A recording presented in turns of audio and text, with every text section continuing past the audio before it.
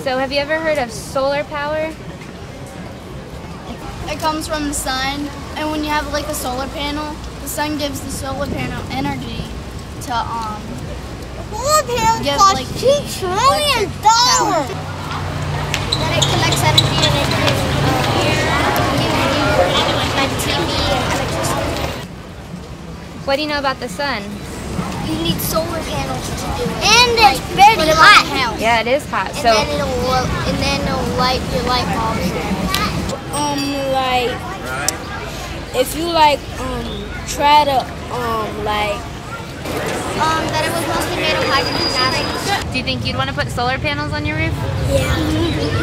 Maybe, maybe. It's not good. It's not. It's not. It's not cheap. Who wants to buy it and lose all her money?